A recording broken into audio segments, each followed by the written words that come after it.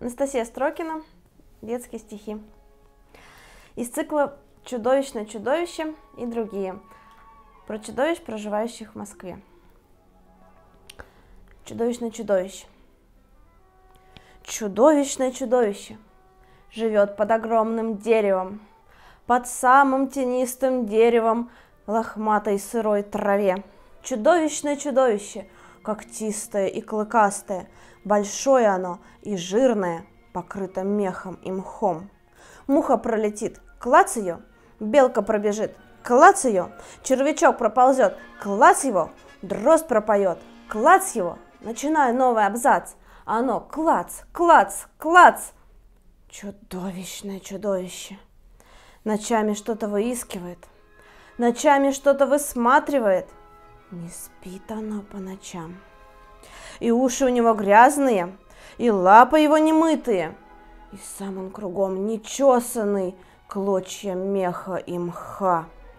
И еще он кошек ест, и еще он ест собак. И еще у нас сосед без ноги. Не просто так чудовищное чудовище, на весь Китай город известное, вместе с огромным деревом живет у нас во дворе. Оно такое чудовищное, такое совсем неприятное, что никто не любит его, кроме только меня. Сова внутри. На Краснопрудной улице, в квартире номер два, живет одна – одна живет, ушастая сова. Расправит крылья и летит со стула на кровать. Попросит соли иногда в квартире номер пять. Ведь иногда готовит суп из молодых мышей. И запах супа не унять все восемь этажей. Ведь иногда все этажи сливаются в один, и нет ни стен, ни потолков, ни шума, ни витрин. Все потому, что иногда большой кирпичный дом. Идет сокольники гулять, дышать осенним днем. Откроет дом свое окно и впустит поздний лист, Синицу желтое перо, с ней синичий свист, И запах дождевой земли, и первый снег, и луч, и будет в доме хвойный лес, и будет лес дремуч, все потому, что иногда внутри живет сова, внутри тебя, внутри меня в квартире номер два.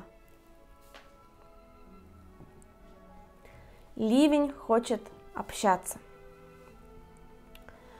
Чернее черносливен, тоска вселилась в ливень. И он из дома вышел, в каретном топоточит, и на цветном грохочет. Собрался лить до ночи, а может, кто услышит, поговорить захочет. Вот ты, прилежный школьник. Бежим в припрыжку, что ли, а может в цирк, тем более, что цирк недалеко. Вы, милая мамаша, давайте поболтаем, но только не о кашах и не о долгом кашле, а просто так, легко. Красивый господин, куда же вы?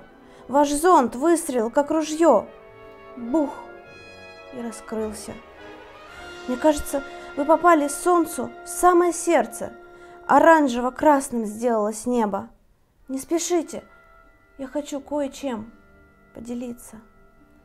Или я вам неприятен? Или, может быть, противен? Ну, ладно, ладно, затаился раздосадованный ливень. Я, пожалуй, помолчу, но потом, как отмочу... Только люди хмурят лица, отворачиваются. Дорогой школьник, Промокни до самого ранца, побудь хулиганцем. Дорогая мамаша, отпустите заботы на половину минутки. В небе туча повисла, красивая, жутко. Дорогой человек, остановитесь. Вдохните по пояс. Вас дождется зеленый с полосками поезд. Вы услышьте, пожалуйста, тоскливого ливня. Обнимите, пожалуйста, сиротливого ливня. А не то он замочит наше лето, затопит, застудит. И тогда вообще никакого лета не будет.